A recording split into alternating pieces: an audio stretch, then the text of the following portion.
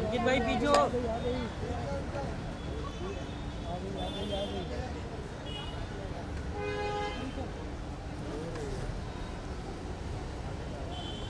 अरे आगे मत जाओ। आगे मत जाओ। राखी आगे है राखी जी आगे भारती जी आगे जी जी जी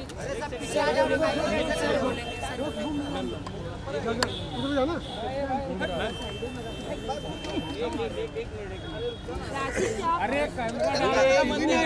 अरे अशोक सर बताएँगे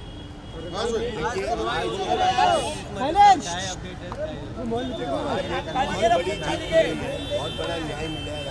ये सुनो ये सुनो ये सुनो आप लोगों को पता होगा कि पहले ही दिन जो है ट्रायल कोर्ट में जो है उनको जेल की कस्टडी देनी थी। पुलिस को कोई इन्वेस्टिगेशन का चांस नहीं उस ऑर्डर को यहाँ चैलेंज किया गया। और आज रिवीजन कोर्ट ने जो है उस ऑर्डर को सेटिस्फाइड कर दिया।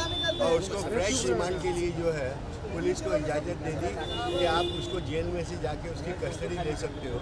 और कल फिर जो है मजिस्ट्रेट के सामने प्रोड्यूस करके आगे पुलिस कस्टडी ले सकते हो।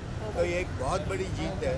वो जो सच्चाई से छुपने की कोशिश कर रहा था तो पुलिस कस्टडी में रहता तो शायद सारी बातें बाहर निकलती तो वो आज हमारी बहुत बड़ी जीत हुई है और कल फिर जो है उसको रिमांड पे डेफिनेटली लिया जाएगा और सारी कोशिश राखी इस वक्त आप इमोशनल नज़र आ रही है। हालाँकि फैसला आपके हक में है और यू नो ये आपके लिए खुशी की बात होनी चाहिए। मैं बहुत बहुत शुक्रगुजार हूँ अशोक जी की फैल्गुनी की वाहिद भाई सभी, हमारे पीपीए सभी जितने भी एडवोकेट्स हैं, आज अभी अभी जो एक खुशी की उम्मीद और एक सच्चाई की जीत जो अभी मुझे मिली है, मैं जज साहब जनरोश जज साहब को बहुत बहुत शुक्रिया अदा करना चाहूँगी कि एक महिला को जिसमें पीड़ित हूँ मैं, मुझे न्याय मिला है। अभी अभी कल मैटर है, वहाँ से आता रोड जेल से आदिल को पुलिस स्टेशन लाया जाएगा और फिर कोर्ट में पेश करेंगे।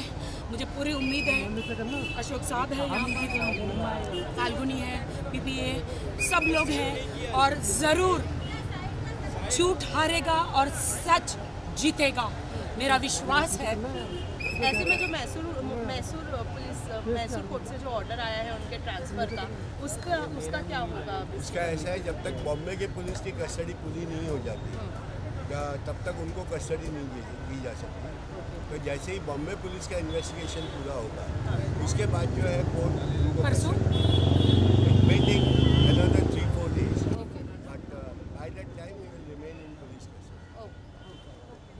राखी जी आप राखी कितना रिलैक्स फील हो रहा है। आपको कितना रिलैक्स फील हो रहा है क्योंकि ये फैसला आया है। एक राखी जी राखी जी।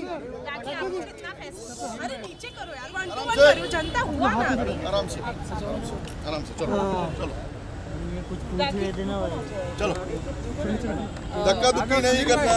लग लग लग मैं मैं दिंडोशी कोर्ट की राखी कितना रिलैक्स फील हो रहा है आपको? V V for victory Dindoshi court जो मैं उनके बहुत जो जज साहब के बहुत बहुत शुक्रगुजार हूँ। फाल्गुनी जी जो लॉ है वो आप बताइए क्या हुआ है। जैसे अभी सर ने आपको बताया कि अभी दोबारा पुलिस को शिवरा पुलिस को जेल जाके उसकी कस्टडी लेनी पड़ेगी। उसके बाद दोबारा उसको मैजिस्ट्रेट कोर्ट में प्रोड्यूस किया जाएगा। और आगे की जो भी रिमांड की प्रोसीजर है, वो बैक टू स्क्वायर वन आई है अभी रिमांड की सारी प्रोसीजर होगी। और उनको डे वन ही डे वन ही पुलिस कस्टडी नहीं मिली आदिल को। एंड उन्होंने जीसी ले ली। तो फिर वहाँ से डायरेक्ट बेल अप्लाई कर दी। जब तक पुलिस की ओशिवारा पुलिस उनकी इन्वेस्टिगेशन नहीं करेंगे सच्चाई मेरे पैसों की मेरी जो कंडीशन की ये मेरी माँ के जेवर मेरी हार्ड अर्न और मेहनत की कमाई।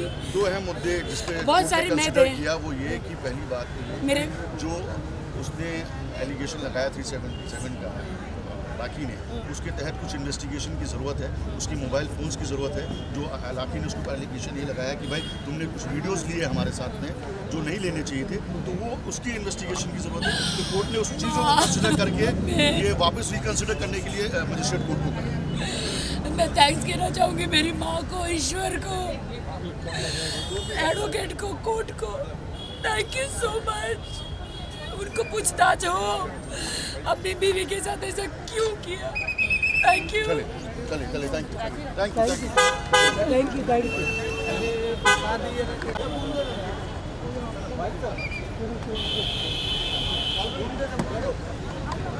साहब का है सौगी साहब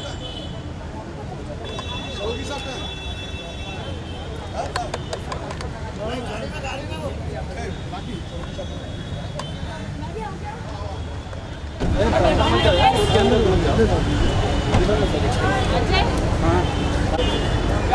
सौगी साहब का है फाल्गुनी